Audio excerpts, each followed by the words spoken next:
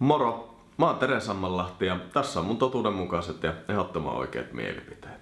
I myself will carry you to the gates of Valhalla. Työ- ja elinkeinoministeriö julkaisi kesällä kommentoitavaksi lausuntopyynnön, jossa esitettiin suuntaviivoja alle 20 henkilöä työllistävien yritysten irtisanomisperusteiden keventämiseksi. Näin työllistämisestä voitaisiin tehdä pienissä yrityksissä kannustavampaa, koska nykyisen tiukan työmarkkinasääntelyn takia ensimmäiset työntekijät on yrittäjille riski, joka toteutuessaan voi tuhota yrityksen ja jopa tehdä yrittäjästä velallisen lopuksi elämäänsä. Työmarkkinasääntelyn keventämisaikeet ovat varsin yllätyksettömästi saaneet verovapailla osingoilla lihoavan ammattiyhdistysliikkeen uhkaamaan hallitusta laajoilla työtaistelutoimilla.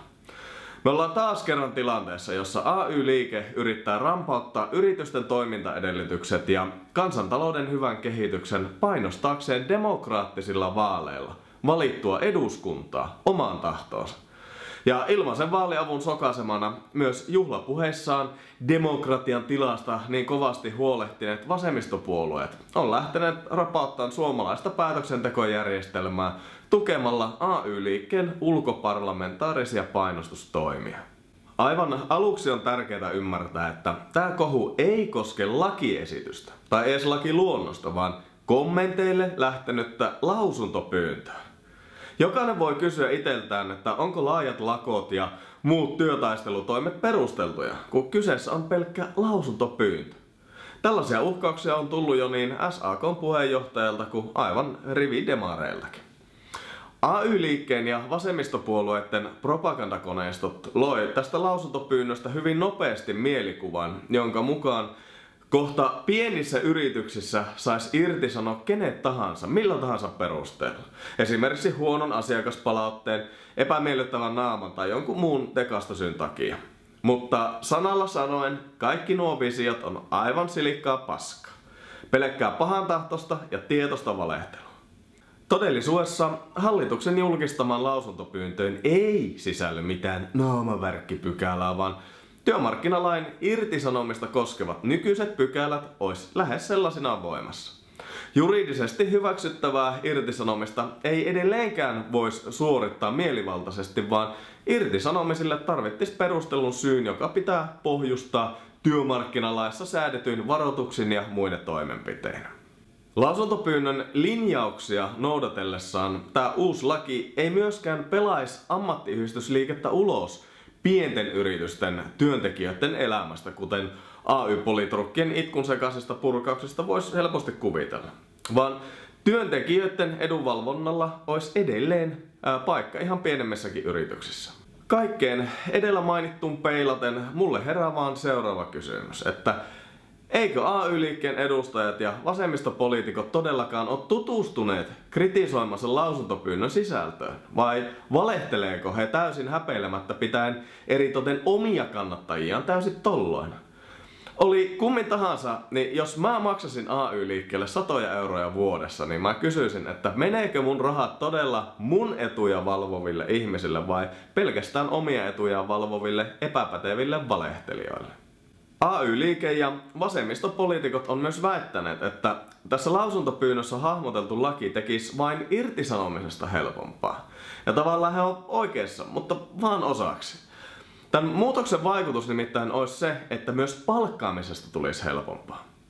Koska virherekrytointi on pienyritykselle jopa konkurssiriski, viivyttää moni yrittäjä seuraavan työntekijän palkkaamista paljon pidemmälle kuin pitäisi olla edes tarpeellista. Kun yrittäjäriski lakimuutoksen myötä pienenis, niin kannustin kokeilevampaa ja ennakkoluulottomampaan rekrytointiin samalla kasvaisi. Tää tuntuu olevan vähän samalla tavalla hankala konsepti kolmikannon loputtomaan viisauteen luottaville valtiouskovaisille, kun laskevan rajahyödyn ymmärtäminen on vaikeeta jatkuvista veronkorotuksista haaveileville verofetisisteille. Mä toivoisin kuitenkin, että jokainen miettisi nyt aivan todenteolla tätä asiaa nimenomaan yrittäjän näkökulmasta. On muutenkin käsittämätöntä, kuinka niin moni suomalainen luulee, että yritykset ja yrittäjät pyrkis vaan kiusaamaan työntekijöitä ja erottamaan heitä niin paljon kuin mahdollista. Se on aivan uskomaton harhakuvitelma, jolla ei ole pohjaa elävässä elämässä. Päinvastoin, mä väitän, että suomalaisten yrittäjien enemmistö ottaisi vaikka kaikki tämän planeetan työttömät ihmiset töihin, jos voisivat varmistua siitä, että työntekijät tuottaisi yritykselle voittoa. Vaan luonnehäiriöiset johtajat kiusaa tuottavia työntekijöitä, mutta sellaista kiusaamista vartenhan meillä on AY-liikkeen edunvalvontakoneista. Eikö niin? Hyviä ja tuottavia työntekijöitä taas ei kukaan tervejärkinen yrittäjä halua irtisanoa. Miksi ihmeessä haluaisi? Miksi ihmeessä sen enempää hallitus kuin yrittäjätkään juonis asiansa osaavien, mukavien ja tuottavien työntekijöiden erottamiseksi? Mitä ihmettä yrittäjä tai yritys tuollaisesta toiminnasta voisi mahdollisesti hyötyä? Ja mitä ihmettä hallitus hyötys valtavasta irtisanomisaallosta ja työttömiksi jääneiden äänestäjien ajautumisesta vasemmistopuolueiden äänestäjiksi? Yksikään näiden AY-kauhuskenaarioiden esittäjä ei ilmeisesti ole testannut hypoteesejaan tällaisilla kysymyksillä. Eikä yksikään heistä takulla osaa antaa vastauksiakaan näihin. Mutta oletetaan, että julkisessa keskustelussa maalatut kauhukuvat AY-liikkeen romuttamisesta olisi totta. Mitä siihen sanoo sellainen ihminen, joka on työskennellyt ilman väitettyä yleisen työehtosopimuksen ja ammattiyhdistysliikkeen tuomaa suojaa? No, mä asuin Yhdysvalloissa vuosina 2009-2012. Ja tuona aikana mä työskentelin kahdessa eri yhdysvaltalaisyrityksessä. Molemmissa paikoissa mä allekirjoitin niin sanotun at will työsopimuksen tarkoittain, että molemmilla osapuolilla on oikeus purkaa sopimus yksipuolisella päätöksellä ilman mitään karenssiaikoja. Viimeisen vuoden aikana mä näin kolme irtisanomista ja joka kerta kaava oli sama. Perjantaina varti yli kolme potkut saava henkilö pyydettiin toimitusjohtajan juttu sillä ilmoitettiin, että maanantaina ei sitten tarvitse enää tulla. Brutaalia sinällään, mutta ilman moista sopimisen mahdollisuutta mun kaltaisilla ulkomaalaisilla työntekijöillä olisi paljon heikommat työllistymismahdollisuudet Yhdysvalloissa. Mun työsopimus takas mulle viikon palkallista vapaata vuodessa sekä kansalliset vapaapäivät päälle. Palakka vastavalmistuneella diplomi-insinöörillä vuonna 2011 oli 60 000 dollaria vuodessa ja nykyisellä kokemuksella DC-alueella mun palkka olisi todennäköisesti yli 100 000 dollaria vuodessa, eli reilusti enemmän kuin vastaavissa tehtävissä Suomessa. Järjestelyssä siis on puolessa ja puolessa.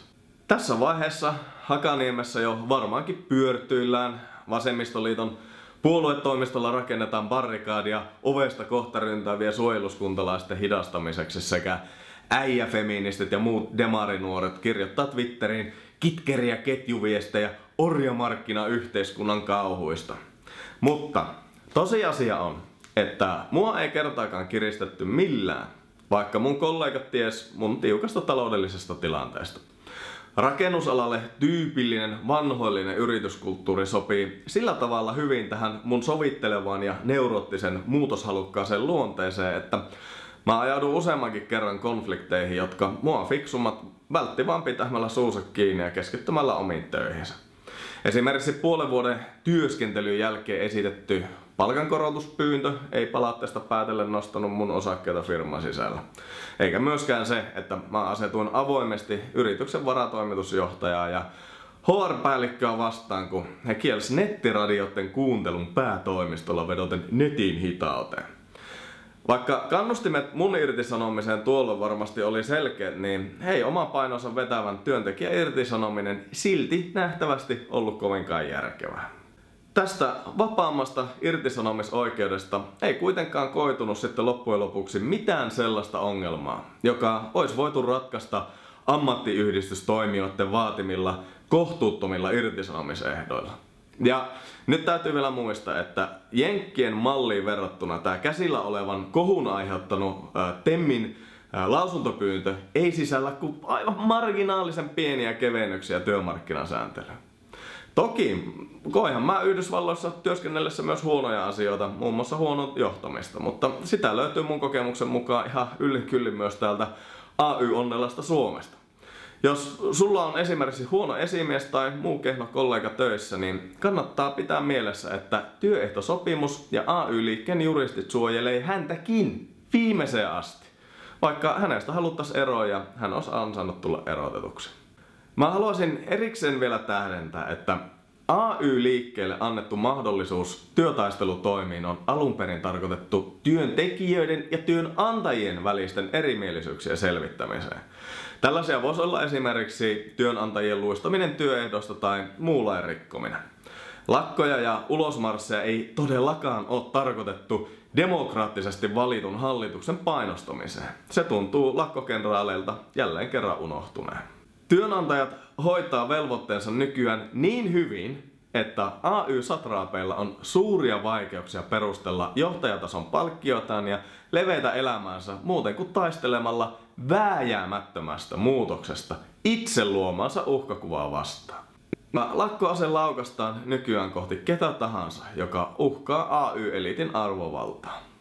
Nyt herra Hissillä Hakaniemen saunaosastolle hilatut työmarkkinaporsastelijat on SAK-johdolla jälleen ottamassa meidän kansantalouden panttivangikseen tehdäkseen vaalityötä vasemmistopuolueelle. Siinä samassa tulee tietysti käveltyä demokratiaa yli, mutta mitäs pienistä? No, miten työllisyys sitten saataisiin entistä parempaan kasvuun? Miten suomalaisille saataisiin parempi ostovoima ja kansantalous kestävämmälle pohjalle? Ja kuinka siinä sivussa vahvistettaisiin demokratiaa sekä tehdään Suomesta parempi paikka elää, yrittää ja tehdä töitä.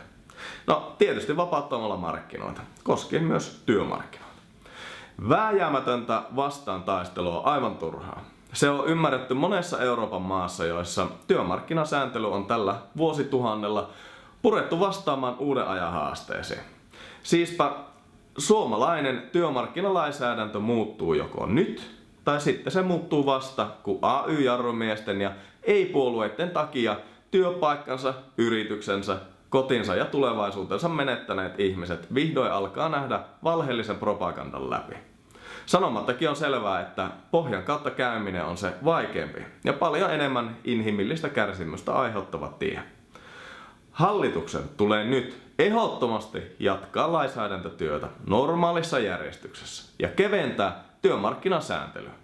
Jos ammattiyhdistysliike ottaa koko Suomen kansantalouden panttivangikseen taistellessaan demokraattisesti valittua eduskuntaa vastaan, niin silloin meidän täytyy ihan oikeasti pohtia, että onko AY-liike enää se omien unelmiensa yleishyödyllinen järjestö vai koko kansakunnan hyvinvointia uhkaava terroristijärjestö.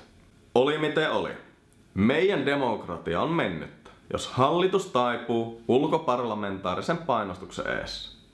Hallituksella ei siis ole syytä, mutta ei myöskään suomalaisen demokratian uskottavuuden kannalta vaihtoehtoa taipua AY-liikkeen painostuksen eessä ja luopua työmarkkinalainsäädännön tarpeellisesta uudistumisesta. Mediocre.